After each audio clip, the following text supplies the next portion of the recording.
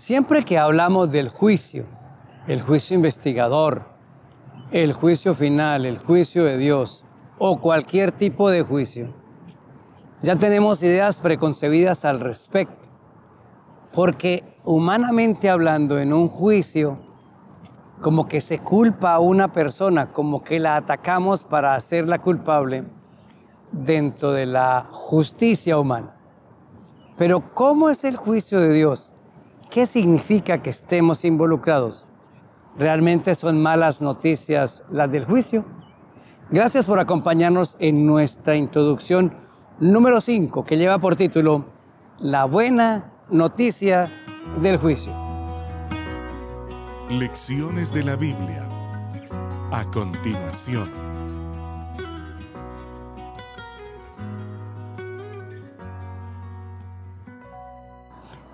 Bienvenidos a Lecciones de la Biblia, un espacio para estudiar y entender la palabra de Dios.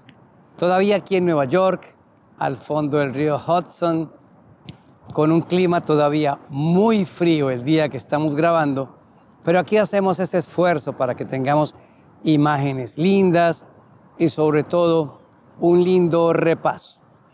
Texto para hoy, Apocalipsis 14:7. Decía a gran voz, Temed a Dios y denle gloria, porque ha llegado la hora de su juicio.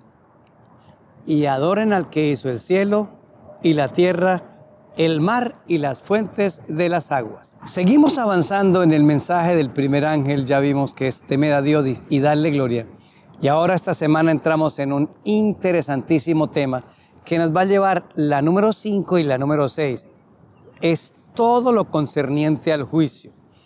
Esta semana y en esta introducción estaremos repasando elementos técnicos del juicio de Dios para adentrarnos en lo que es toda esa cantidad de datos y elementos que nos ayudan, porque aquí el ángel está diciendo, llegó la hora del juicio. Así que hay que responder preguntas de qué es el juicio, cuándo ocurre el juicio, qué va a pasar, ¿Es uno solo el juicio o tiene etapas? Bueno, esta semana nos vamos a concentrar en el carácter propio de lo que es el juicio de Dios. Así que el primer punto será el perfil del juicio. En Juan capítulo 3, versículo 18, el Señor dice, el que cree no es condenado, pero el que no cree ya ha sido condenado porque no ha creído en el Hijo de Dios. Si ustedes notan aquí, dice que el que cree no es condenado. Es decir, que el perfil del juicio no es condenar gente, es absolver al inocente, entendiendo por inocente todo aquel que se ha refugiado en los brazos de Cristo Jesús. Normalmente un juicio terrenal es culpar a alguien, pero en el juicio de Dios es absolver al que es inocente. ¿Por qué razón? Porque Juan 3:18 dice que el que no cree ya ha sido condenado. Es como si no necesitara un juicio. Es como si solo necesitáramos una información de que va a ser condenado por no haber creído en Jesucristo, el Hijo de Dios. Así que el perfil del juicio para nosotros, quienes nos hemos refugiado en Cristo y le hemos aceptado, no es condenarnos, es cuidarnos, protegernos y absolvernos. Punto número dos, el carácter de Dios. El carácter de Dios, según 1 Juan capítulo 4, versículo 8, es amor. El texto dice, el que no ama no ha conocido a Dios, porque Dios es amor. La esencia de Dios es el amor. Él es amor, amor puro, amor ágape. Cuando Dios entra en el juicio, entra con ese carácter. Aunque la Biblia habla del gran día de la ira de Dios, el día grande y terrible de Jehová, inclusive en todas esas destrucciones, Dios nunca perdió la esencia de su carácter, el amor. entonces es un Dios amoroso que va a hacer un juicio y que va a permitir todos los elementos disponibles para que cada ser humano que se entrega a Cristo y permanece en sus brazos pase bien por ese juicio que es un juicio de absolución. Punto 3. El objetivo. El objetivo del juicio es confirmar que el gran culpable de toda la desgracia humana es Satanás. Eso es lo que va a lograr el juicio. En el juicio de todo lo que Dios va a hacer y cómo lo va a ejecutar, va a confirmar que Dios es bueno. Es más, cuando termine el juicio, todos, incluyendo a Satanás, nos inclinaremos y diremos, Señor, justos y verdaderos son tus caminos. El justo es usted, Señor. El injusto es el diablo. Y va a confirmar el juicio que Satanás es el verdadero culpable. Él se presenta como el príncipe de este mundo. Se presenta como alguien que acusa a Dios, pero él será el responsable de su propia perdición. Siguiente punto. Dios es juzgado en pregunta. En el juicio Dios está siendo juzgado. No solamente nosotros los seres humanos. Dios está siendo juzgado. Vean conmigo lo que dice el Salmo número 51 en un texto muy especial. Y me refiero a Salmo 51, 4. Contra ti, contra ti solo he pecado y he hecho lo malo delante de tus ojos. Y miren esta parte, para que seas reconocido justo en tu palabra y tenido por puro en tu juicio. David pide perdón. Perdóname a mí, Señor, absuélveme. Porque cuando hagas ese proceso, todo el mundo se dará cuenta que usted es puro en su juicio. El diablo ha acusado a Dios. Él es el que mata a la gente. Usted no ha escuchado la pregunta, ¿por qué si Dios es tan bueno, se mueren los niños inocentes? ¿Por qué muere gente inocente? Dios no tiene la culpa de eso. El pecado nos metió en un mundo que se llama libre albedrío, que siempre ha estado, pero ahora es mal utilizado por los seres humanos. Entonces toda cosa mala que pasa en el mundo es culpa de Dios. Nadie dice, ¿por qué Satanás mata a los niños inocentes? ¿Por qué Satanás causa las hambrunas? ¿Por qué Satanás causa las guerras? Todo este desastre que estamos viviendo irá al juicio. Y Dios tiene que permitir el desarrollo del mal para que todos seamos testigos oculares, visibles, prácticos de decir, oiga, este desastre que causó Satanás es muy malo y que Dios es bueno. Así que Dios también en el juicio limpia y vindica su carácter. Y un último punto con estos, con este primer, primera parte y es, nos condenamos porque queremos. Hay un Salvador, hay un método de salvación, hay un Jesús que murió por nosotros en la cruz. Entonces extiende un cheque en blanco para que todos podamos pagar la deuda y además nos da poder para matar la concupiscencia, los malos deseos que hay aquí en el corazón. Da todo ese poder para poder vencer. Salvarse es una decisión propia. Y uno diría, claro que es fácil la salvación. Es fácil cuando te entregas a Jesús. Pero hay gente que se niega, que se resiste, que no entregan su vida al Señor. Entonces, cuando pasen por ese juicio, no tienen un abogado porque Cristo es el abogado hoy, pero el Padre le entregó el juicio al Hijo y algún día dejará de ser abogado y se volverá el juez. Cada persona en el mundo se salvará o se perderá porque ha sido su propia decisión. Este es un momento para invitarles a entregar la vida a Cristo, entregarle nuestro corazón a Él. Él es el único que puede darnos salvación y vida eterna. Ahora vamos al segundo gran punto, se llama la sucesión de reinos. Y vamos a fijarnos en Daniel capítulo número 7. Miren, el Apocalipsis, cuando el, el ángel, el primer ángel dice, llegó la hora del juicio, y después en Apocalipsis 20 se habla del juicio, no nos explica muchas cosas del juicio, pero para eso está el resto de la Biblia. Y un capítulo que explica muy bien eso de la sucesión de reinos es el capítulo número 7 del libro de Daniel. En esa sucesión de reinos, Dios recupera el 100% del control sobre el mundo. Quiero mostrárselos a ustedes brevemente para que vean cómo lo que Dios ha dicho se ha ido cumpliendo en los reinos de este mundo.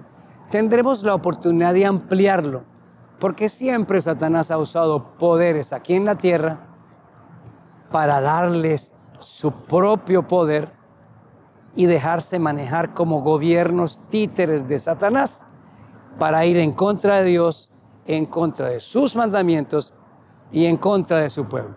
Bueno, les invito a que hagamos una sucesión de esos reinos en Daniel capítulo número 7. Vale la pena aclarar que estos son símbolos. Aparece un león, un leopardo, un oso, una bestia grande y terrible. De la bestia grande y terrible salen diez cuernos, del cuernos, de los diez cuernos sale un cuerno pequeño. Hay bestias, hay cuernos. Todos son símbolos que aplican a realidades. Según el versículo 4 de Daniel 7, las bestias y los cuernos representan reinos, reinos, representan reyes. También lo dice eh, Daniel capítulo 7, versículo número 17. Dice, estas cuatro bestias son cuatro reyes que se levantarán en la tierra. Así que cuando usted vea bestias, pues son reyes, son jefes de imperios y lo mismo los cuernos. Lo que pasa es que las bestias, aparte de representar al jefe del imperio, representan a todo un imperio. En el Daniel capítulo número 2, Dios le reveló a Nabucodonosor la sucesión de reinos.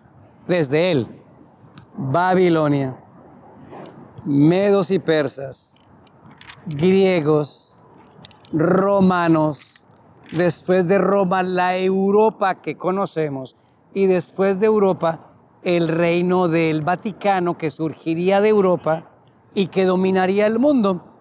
Y después vendría el juicio. ¿Dónde está toda esa sucesión? Babilonia es representada por un león en Daniel 7.4. Medo Persia en Daniel 7.5. El leopardo, que es Grecia, en Daniel 7.6 y Roma imperial, la de los césares, la de los emperadores, en Daniel 7, 7. Pero es muy interesante que de la Roma imperial, de la misma Roma, surge Europa y surge un nuevo poder. Lo voy a leer de Daniel 7, 24 al 26. Y los diez cuernos que representan a Europa significan que de aquel reino se levantarán diez reyes tras ellos se levantará otro, el cual será diferente de los primeros, y a tres derribará. Este nuevo cuerno hace lo siguiente, versículo 25. Hablará palabra contra el Altísimo.